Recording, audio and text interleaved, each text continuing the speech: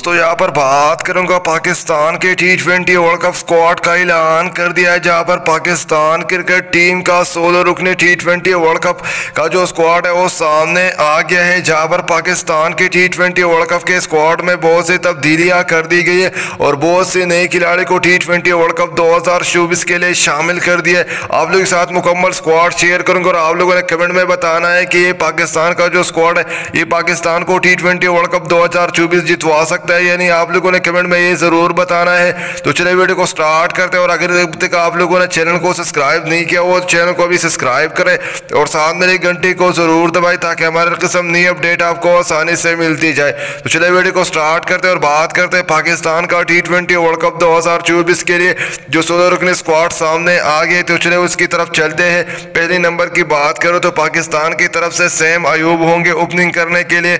दूसरे की बात करो तो पाकिस्तान का दूसरा Glaubner मोहम्मद रिजवान होंगे पाकिस्तान क्रिकेट टीम के लिए।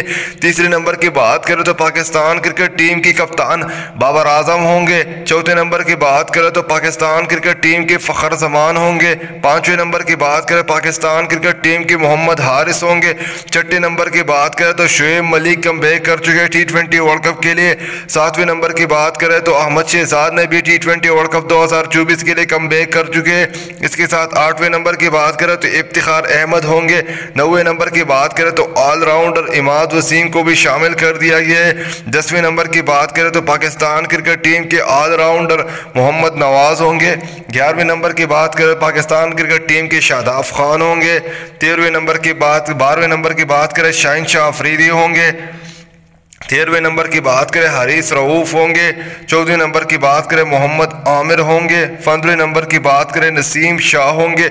सोलहवें नंबर की बात करें, जमान खान होंगे। ये होगा पाकिस्तान क्रिकेट टीम का सोलह रुकनी स्क्वाड, जहाँ पर अहमद शहजाद, शुएब मलिक, इमाद वसीम और मोहम्मद आमिर ने कम बैक कर दिया है टी ट्वेंटी वर्ल्ड कप दो हज़ार चौबीस के लिए। ये पाकिस्तान का कंप्लीट सोलह member squad T twenty world cup दो हज़ार चौबीस के लिए। आप लोगों ने कमेंट में बताना कि ये squad T twenty world cup जितवा सकता है या नहीं।